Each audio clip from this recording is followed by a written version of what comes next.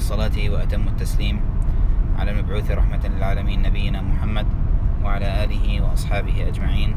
وبعد فإن شاء الله آه، سيكون إن شاء الله يعني درس قصير خمس دقائق فقط لمسألة توضيح مسألة ذكرت في الخطبة. ويبدو أنها قد فهمت على غير المراد.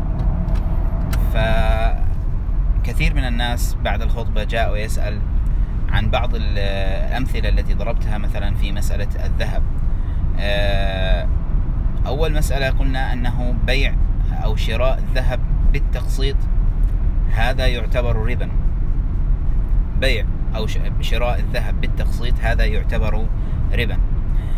آه، السلام عليكم ورحمة الله. I'm trying to just clarify some of the things that I mentioned in the uh, خطبة because a lot of people uh, received a lot of calls uh, they have question about a certain thing they may be misunderstood uh, so uh, I'm, I'm going to be inshallah quick and then inshallah tomorrow we'll continue with our tawheed uh, lecture inshallah I gave examples in the khutbah of things that people does that are considered as riba. The first one is to buy gold and pay it monthly.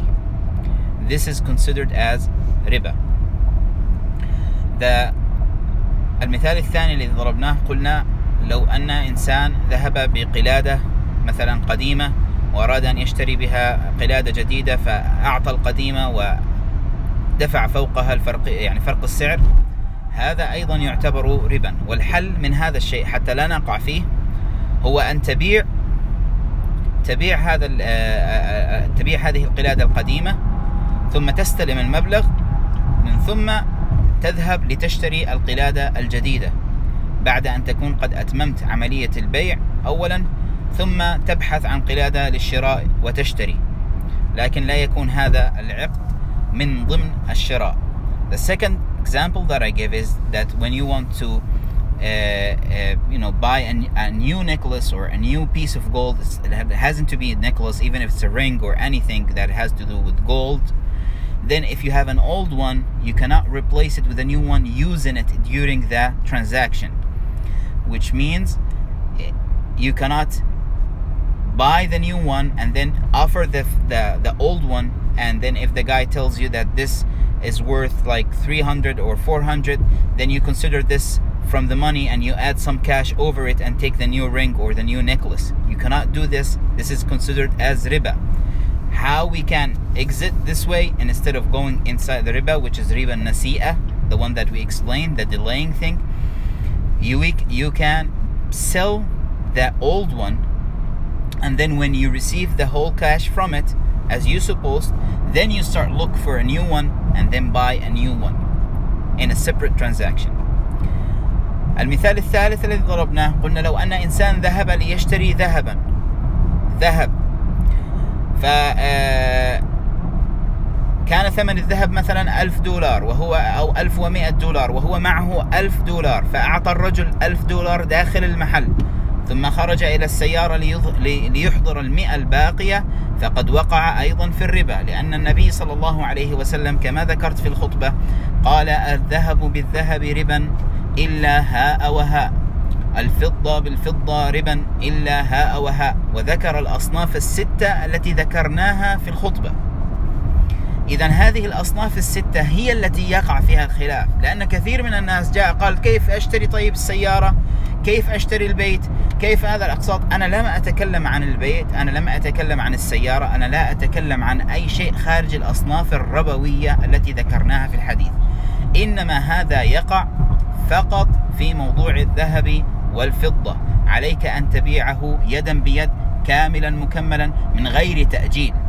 فلو إنسان ذهب ليشتري تلفون وكان معاه 500 دولار ونقص عليه 100 دولار وخرج للسيارة يحضر 100 دولار لا بأس عليه لأن هذا ليست من الأصناف الربوية. هذا المال ليس من الصنف الربوي. التلفون ليس من الصنف الربوي ولا غيره من الأمور سواء كانت سيارة أو غير ذلك. إنما كان حديثي عن الذهب الذهب والفضة الأصناف الربوية التي ذكرها النبي صلى الله عليه وسلم في حديث أبي سعيد الخدري الذي رواه مسلم. The third example that I gave is that if you go to buy a piece of gold, which is uh, whether it's a necklace or anything else, and the man tells you it is a thousand hundred and you have one thousand with uh, with you so you gave him this thousand and you go out to the car to bring the other hundred then this is considered riba. Okay how we can how we cannot fall on this then you do not buy it you do not give the the money the thousand dollar to that guy you do not buy it you just go out bring the whole money with you the whole cash that they're asking for thousand hundred and then go again inside and do the transaction. Is this also goes to other things? Like if let's say i'm buying a phone and then uh, i go to buy this phone and then the man tells me 600 the price of the phone and I have five 500 I give him the 500 and I go back to the car to bring 100 is this the same? No it's not the same. I'm only talking about gold and silver and those six types of money that the Prophet ﷺ mentioned in the hadith which is gold silver and date and wheat and barley and salt.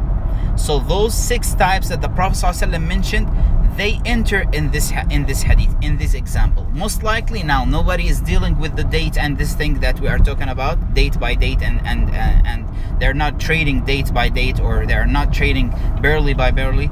Now the majority of people they just go and buy, buy it. It's a different case. I'm talking now that a lot of people fall in this especially when they are buying gold or silver. So when it comes to gold and silver you cannot do this but if it is outside that gold or silver, if it is a phone, if it is a car, if it is a house, we're not talking about this. It is okay to do it. It's something different.